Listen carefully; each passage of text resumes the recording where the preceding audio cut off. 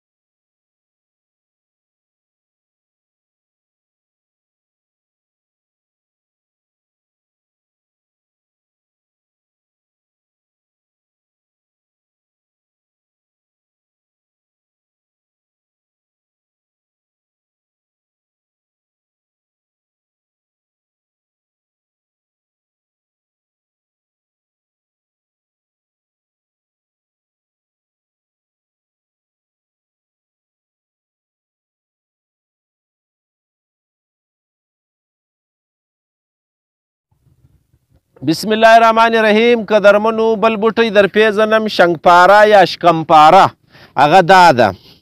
در نږدې به هم کومه دا ځینې خلکو شکولي دي دا پراته دي زاړه بهرحال دا بوټي چې دي دا دلته دا ګوره شاوخوا بیخي ډېر شین دی قدرتي بوټی دی دښته زموږ خلک شنګپاره یا شکمپاره وایي د نس د دړ دپاره د میادې دپاره د قبض دپاره چې کله کله د سړي عمل یا دستونه کیږي د هغه د پاره دا خلک استعمالي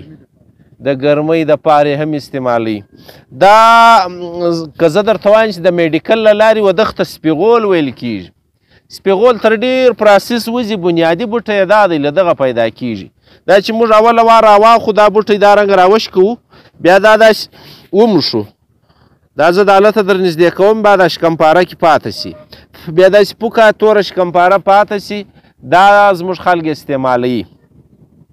نو دغه سپیغولو بنیادی بوټی دا دی یو سړی دی علم خان کا نومږي دا در سره غایومه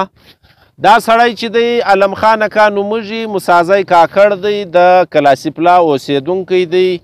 دا له ما سره ملګری دی په دا بوټو کې نو علم خان کا دا بوټی څه نوموږي دا شنګپاره نوموږي په پښتو کې شنګپاره ورته یایي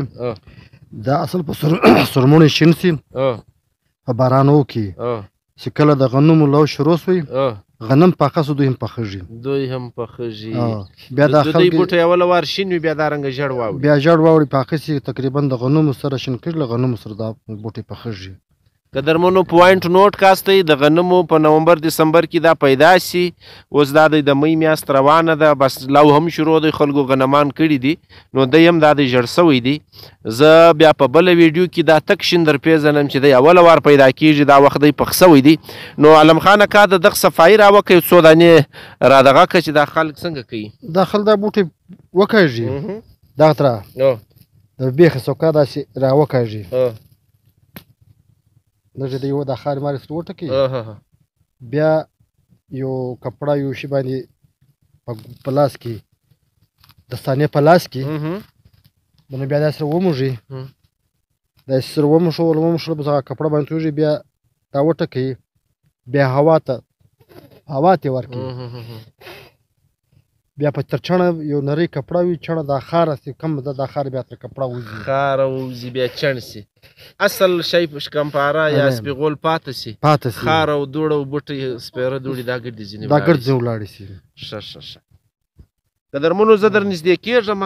نو دغه رنګه دغه چم یې وار ستاسو ته نږدې کوم دا وګورئ دا بوټی دی اوس دا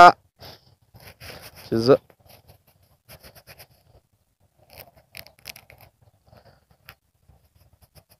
دا ګوري دا دا بیا اصل شی دا دی پاتې دا تر صفایي باید چڼ غواړي دا اصل کوم پاره دا ده بیا تر نور پراسس وځي اوس خو دوه خوا دي بیا ماشینان نور څه پاکي یو خوا پات سي سپینه سي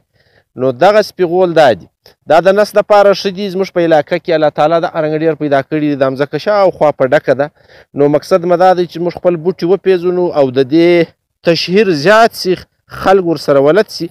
او له بیخه به یې نه کاږو له بیخه کښل چې دي تاوان لري پلاله کې اوس تخم سوی دي اوس کې سړی وکاږي هم تخم نه تویږي کله کله خلک داسې پر برابر سي چې د ده تخم نه تویږي او دی له بیخه کاږي نو هغه بیا نسل کشي کیږي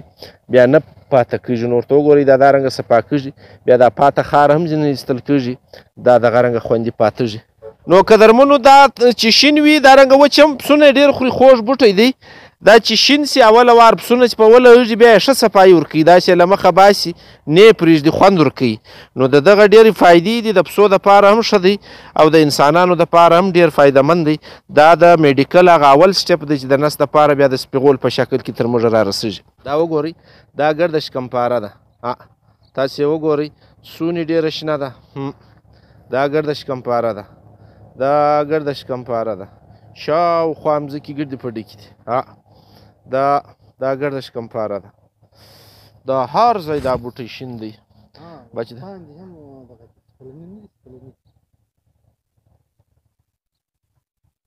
دا ګوري دونې ډېر شین دی تاسې وګورئ دا بوټی بیخي ډېر شین دی ها دلته دلته دا دی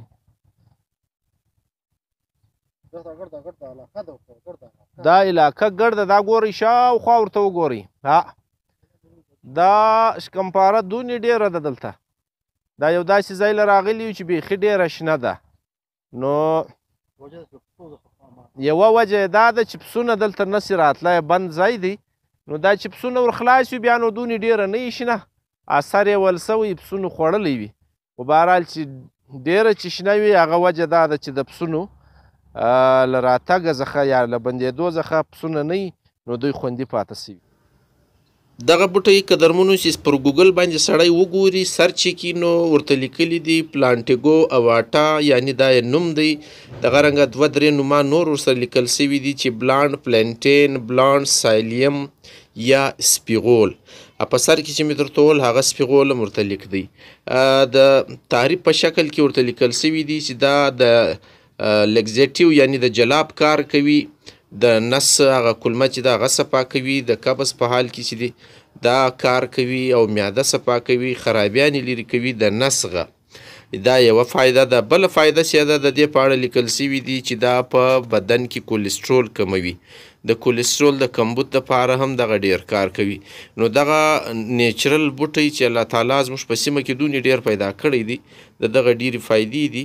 دغه چې موږ دا دی ګوره څه صفا کړی دی تاسو ورته وګورئ نو دا څنګه صفا کیږي دا به ګډ له تاسو سره شریکوم